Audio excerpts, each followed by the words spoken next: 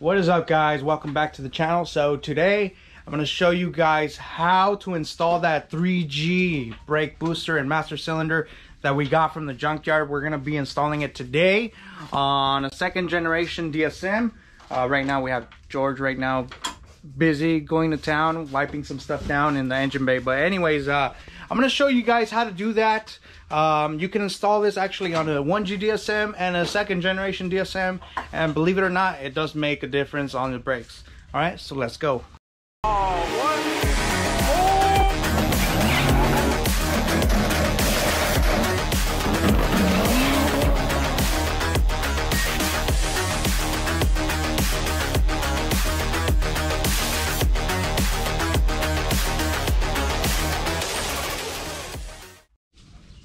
right, so this is what the 2G brake booster and master cylinder should look like.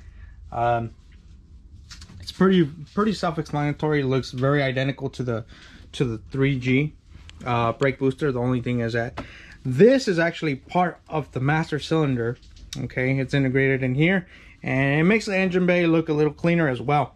Um, but yeah, this the pretty much the same procedure of removing, removing. Okay, that's the key word. Removing uh, the brake booster and the master cylinder. It's pretty much the same procedure. If you guys haven't watched that video, I recommend you guys to check that out on the removal of a 3G master cylinder. Um, I'm gonna go ahead and start removing this guy here.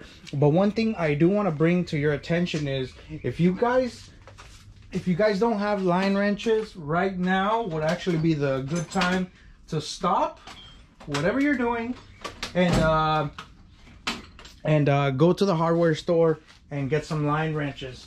And if you don't know what line wrenches look like they pretty much look like these okay? That's what they look like. Um, you want to go ahead and go to the hardware store and get some of these because these will definitely save you uh, and, and they're gonna they're gonna save you from stripping stripping the the lines okay? Uh, and also maybe a set of vice grips in case these are not you know giving. Um, it all depends on where you live but nevertheless let's go ahead and get into this. And uh, I'm gonna start removing the 2G brake booster and master cylinder all together okay? All right, so one thing I did forget to mention is we're also going to be removing the ABS, and that involves removing all these lines around here, these lines here. This is one good way to know if you have ABS uh, equipped on your car, most likely you're going to have these hard lines running through the strut tower here. So we're going to be rem removing the unit, the ABS unit, and uh, you obviously need to remove the front bumper in order for you to even access it. But here it is. Uh, we're going to be removing it. There's a series of 12 millimeter bolts all around here. But before I even loosen those guys up, I'm going to actually loosen up the, the lines here with the line wrench. And then there's 12 millimeters all around here, here, here, and uh, around the engine bay around here. And then we're going to remove the proportionary valve which lives right here and we're going to install a non-ABS uh, proportionary valve okay just FYI for you guys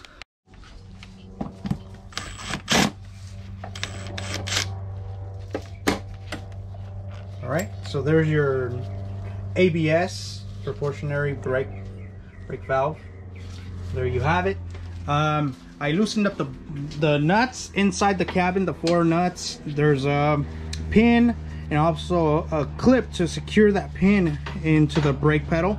That's been done. I loosened up these two 12 millimeter head bolts that hold onto this bracket here. Okay, they're right here, right here. And then uh, I did loosen up the, the lines here with the line wrench. We got it pretty much somewhat free.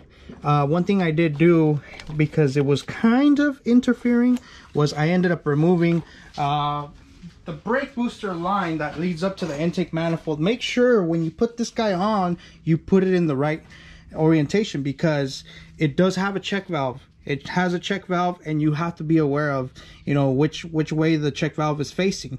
Okay, as you guys can see, you put it in this way because it says engine leads in that direction okay it goes to the engine uh yeah because if you end up doing it the other way you are gonna have such a rough time. Not just that you don't want to introduce boost into this brake booster or at least a new brake booster that we're gonna be installing okay? Uh nevertheless i'll be back once i wiggle this thing out of the way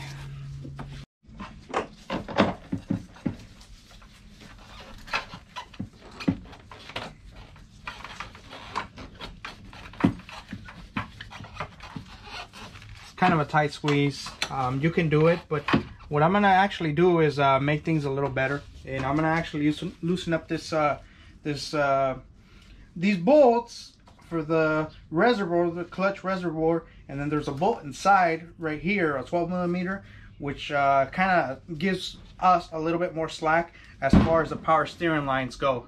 So I'm gonna dig into here, and then uh, we should be able to have a little bit more room in here to wiggle this thing out. So I'll be back. All right, so as you guys can see, I got this out of the way. There's a bolt that I said I did mention it actually lives right here.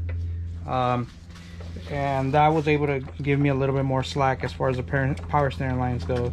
Okay, so I'm gonna go ahead and uh, try to remove this all in one piece, if possible, yeah. Um, if not, then we might have to remove another thing, but I think, uh, I want to say we're good.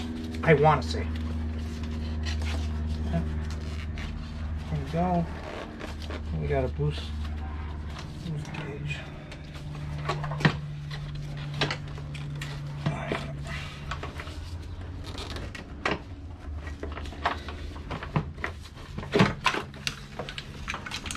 Bam!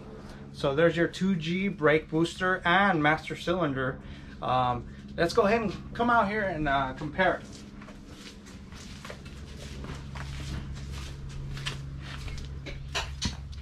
So as you guys can see, um, this bore is a little bit bigger compared to this one here. And uh, you guys can see the brake reservoir is built in into the master uh, cylinder. Okay, that's kind of good because it frees up a little bit of that engine bay room, um, the clutter as well. One thing to note, okay, you can already tell just by looking at it, the booster itself is in bigger size compared to the 3G. And also the master inside here, the bore, um, it's even bigger as well. So what does that mean? That means with uh, less pedal effort, there's more fluid transfer which means you know your brakes are going to grab sooner they're going to grab harder um, this definitely benefits a lot of people that uh, do you know big brake swaps on on their DSMs and not just that you can even run these on the stock all-wheel drive calipers. And I actually prefer prefer it that way because they grab trust me they grab. Uh, once you pair them up to a 3G brake brake booster master cylinder combo. Okay? So we're gonna get ready to install this but before that I'm gonna remove the ABS unit. Okay all right so we're looking at the ABS unit. Uh, there's one more zip tie I need to get to which is actually right here. But this is what it should look look like when you're about to get it off. There's a few 12 millimeter bolts holding onto it on the frame. Um, so I'm just gonna clip this last one. Should be able to come free a little, uh, well, get a little bit more loose. All right, so what I'm gonna do is, uh, there's actually this cover here. I'm gonna loosen up the 12 millimeters. There's two on this side and uh, one on this side. I'm gonna loosen those guys up. That should be able to remove this cover here and this assembly should drop down. Boom, and there it is. Um, this is what the ABS unit on a 2G DSM should look like, give or take um, the plate that I was talking to you guys about is this guy here that was holding on to it so we just remove it and then we tuck this harness uh, more underneath right here. I'm not gonna worry about these plugs. Um, just make sure they don't touch anything uh, in the metal okay? But we should be good uh, as far as removing the ABS unit. Um, now what I'm gonna focus on is I'm actually gonna remove these lines like I mentioned. The majority of these lines are gonna have to be removed. Um, there's some that actually lead up uh, underneath the strut tower uh, to the brake line okay so I'm gonna remove that. And then um, I want to say this one as well. I have to remove the one for the driver's side. Um, the one that reaches or goes in here in this area here. So I'm gonna be removing all that and uh, I'll be back. If you guys need access or get a general idea of what I'm talking about this is the guy that you guys want to uh, remove here um, as well. Use your line wrenches uh, to get to get rid of that okay. We are about to put this guy back in here but there is one thing you guys need to be aware of. So remember I talked about this bore being bigger on the 3G brake brake uh, master cylinder. Um, so there is one thing you guys need to do and you guys need to actually uh, dent uh, this general area around here. Um, you'll see once you try to mock this thing up because it actually touches it.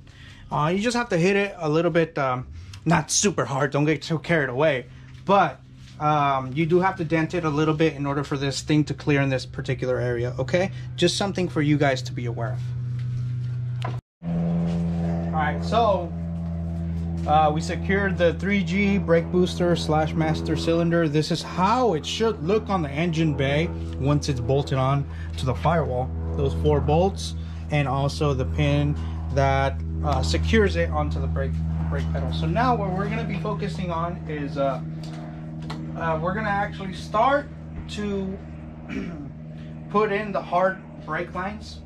Uh, we can go stainless steel, but you know hard lines are fine. Uh, we're gonna go in that direction and uh, I'm gonna show you guys which which way uh, you guys want these lines routed so come here I'm gonna show you so this guy here the very front one here is supposed to go all the way up to the bottom of this proportionary valve okay and then this guy here is supposed to go to this guy here okay you guys see it on the on the master cylinder, the brake master cylinder. So here to the right side of the proportionary valve and the front area of the master on the left side of the very bottom. Okay, and the middle ones here, they go to each direction. So the middle one here goes to the to the front uh, brake line to the to, to the left side uh, caliper okay? This guy here. And then this guy here goes to the passenger side over here to the caliper there to that brake line okay? Um, so I'm gonna focus on that. Just uh, routing all these uh, hard lines and then uh, I'll be back once everything's installed. All right? All right you guys. So I'm finally back. I installed the brake lines here at the brake master cylinder the proportionary valve as I mentioned earlier. So this goes here to the passenger side, to that brake caliper, to that brake line. And then uh, this goes to the driver's side, to the caliper there. Um, this one here, like I mentioned, this one's actually going to go to the very first one here of the res of the brake master um, cylinder. And then this one here, finally, it's going to go to the bottom here.